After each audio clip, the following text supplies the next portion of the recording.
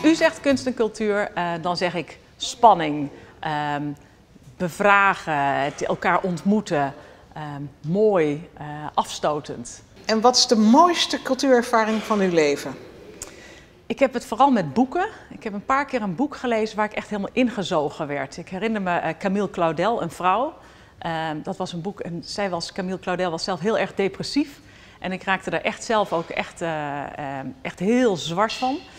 Um, maar ook een boek zoals Possession van, van, van Bayet. Dat heb ik uitgelezen op een vliegveld in, in, in Londen. En op dat moment ging de zon op. En toen ik het boek uit had, toen keek ik op en was ik echt volstrekt de kluts kwijt. Dat was een hele prachtige, intense ervaring. En wat heeft die ervaring eigenlijk betekend voor uw leven? Nou, ik heb uiteindelijk uh, de keuze voor mijn studie hangt heel erg samen met de popcultuur. Ik was een, echt een enorme fan van Prince en ik speelde ook elektrisch gitaar. En uh, ik heb twee studies gedaan, waaronder Amerikanistiek. En die heb ik gekozen omdat ik dan een jaar naar Minneapolis kon, waar Prince woonde. En ik, uh, uh, ik was echt vastbesloten om de nieuwe Wendy te worden. Dat is uiteindelijk niet gelukt. Dat kwam omdat ik natuurlijk dat jaar in Amerika niet had gedaan. Maar misschien ook omdat ik wel echt een hele beroerde gitariste ben.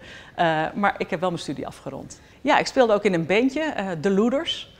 En ik, ja, dat is gewoon heel erg leuk. Ik bedoel, we waren dus niet heel erg goed. Maar elke week oefenden we. We traden af en toe ook op.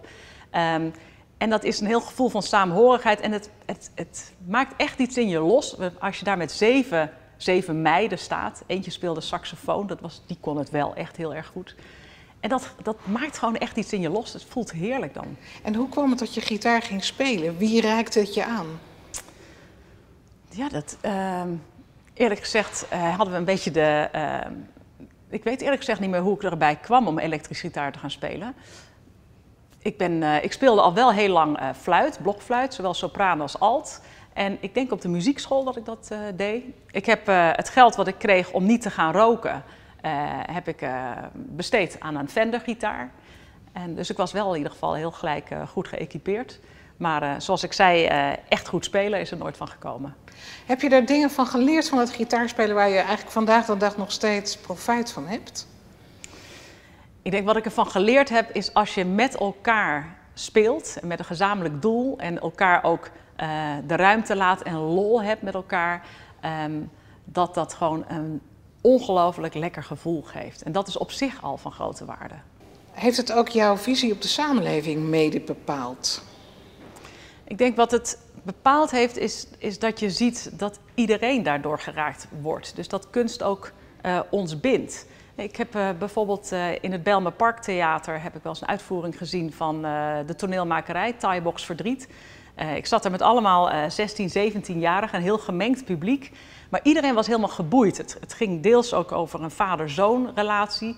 En dan zie je dat wat je achtergrond ook is, dit zijn indringende verhalen die ons allemaal binden. En dat is natuurlijk wel prachtig aan. Je hebt natuurlijk verschillende achtergronden en ook verschillende familieverbanden.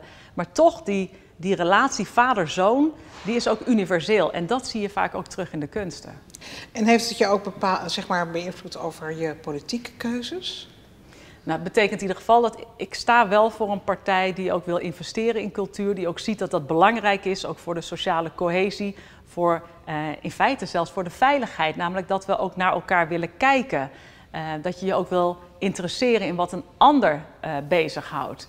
Dus ik vind het wel heel erg van belang dat we daar ook de ruimte voor geven. Voor een cultuur die soms ook kan schuren, cultuursector, um, maar die ons ook laat nadenken. En als je nou kijkt naar uh, de toegankelijkheid, zeg maar, hè? Uh, moet dat op school gebeuren? Gebeurt dat thuis? Ik denk dat school wel heel erg van belang is. En wat je nu ziet is dat vaak die uh, norm, die inkomstennorm, ook wel een obstakel is.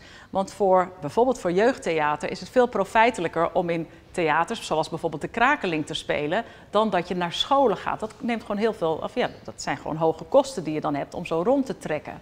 Um, en dan kan je denken, nou, ik ga gewoon naar de gevestigde theaters toe. Maar dat betekent weer dat je niet een heel divers publiek bereikt. En ik denk dat je de afgelopen jaren heb je gezien, is er veel bezuinigd op de, uh, op de cultuursector. Er staan toch nog ook heel veel voorzieningen overeind. Maar ik denk dat de toegankelijkheid voor een breed publiek, uh, publiek wel degelijk in gevaar is gekomen. Ja.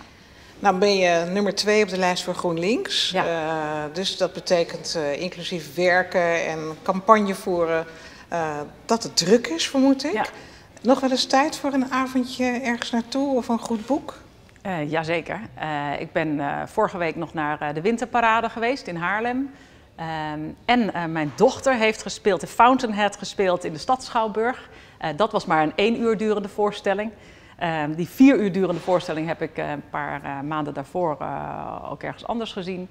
Ehm, ik ben in Parijs naar uh, Magritte tentoonstelling geweest. Nee, dus ik, ik heb er absoluut nog wel tijd voor. Dat hoop ik ook te houden.